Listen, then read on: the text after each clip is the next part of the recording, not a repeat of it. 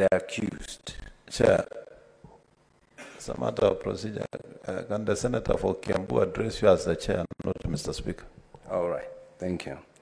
Chair, Mr. Chair, Senator Mandago, relax. It's normal to have a slip of the tongue, but in any case, sometimes I can be so imposing that uh, the young Thangwa sees a speaker in me. Yeah. Thangwa, can you proceed? yeah, probably. So, Mr. Speaker, I'm, I'm talking about all I see is an accuser and the accused. The governor is the accused, the accuser was the mover of the motion. And I believe the accuser was to come with the witnesses. And so the governor herself should also come with her witnesses. So she must stand on the dock.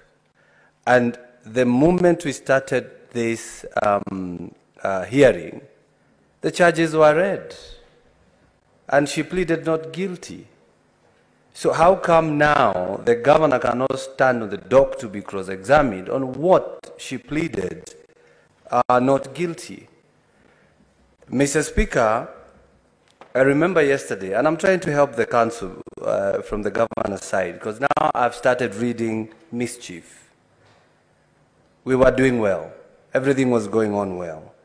But yesterday, I remember there was a Catholic priest.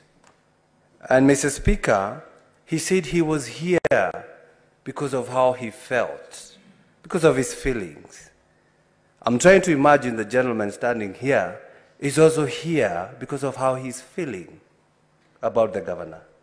So, do you want me to judge the governor from how the gentleman feels?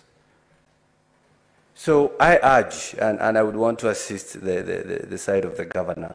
The governor is accused. And the issue here is more egocentric than constitutional. We would want to hear, we are, we are here to see, maybe we must start judging the governor. That's the way she is. She doesn't talk to people. She doesn't want even to hear. I don't want to do that now. But I'm trying to help the side of the governor. The accused should stand there so that we can ask those questions. She's seen on TV uh, uh, making utterances, roadside declarations, and then you tell us to examine a chief officer who is not even per se a civil servant. It's more of an organizer of a government, the, the, the, the caretaker, the T. I don't know whether you understand what I'm saying.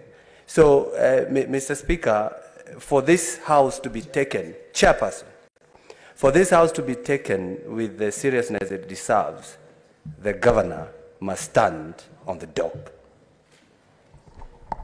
Thank you. I think the final submission is from the Senator of Lamu.